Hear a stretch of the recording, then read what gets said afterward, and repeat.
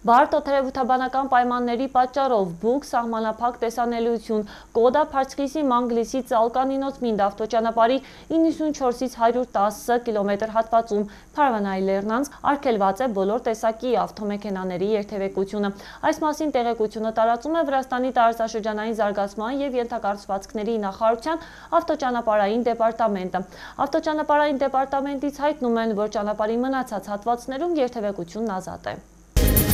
Thank you.